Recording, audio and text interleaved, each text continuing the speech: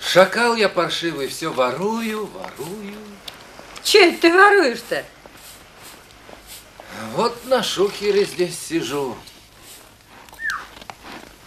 Ха, украли уже. Ну, я пошел. Эй, эй, а ну погоди! Стой!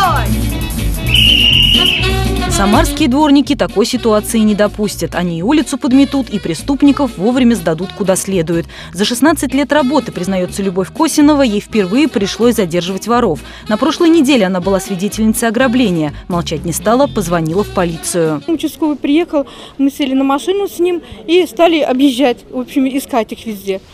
Э, Где стройдом? Магазин. Там стоял железный вагончик. Из этого вагончика вышли двое, которые грабили. Вот прямо по горячим следам поймали их.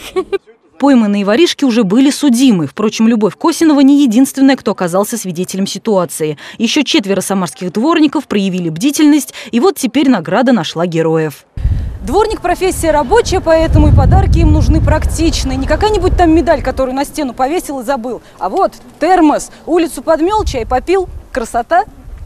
Подарки героям вручили в торжественной обстановке. На каждом именном памятном термосе есть гравировка за мужество и активную гражданскую позицию. На самом деле не распространяется на них задержание и выявление преступников. Могли бы просто-напросто отвернуться и как будто ничего не было. Нет, они повели себя совершенно противоположно и помогли по горячим следам раскрыть э, данное преступление, за что им огромное спасибо. Для нас это необходимо, потому что основная работа, наша деятельность – это работа с населением. Чем больше будет у нас информации, тем бу- будет лучше порядок на территории вообще Самарской области и вообще России.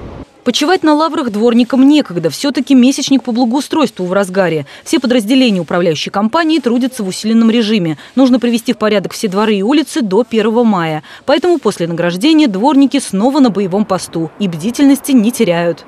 Лариса Шалафаст, Максим Гусев. События.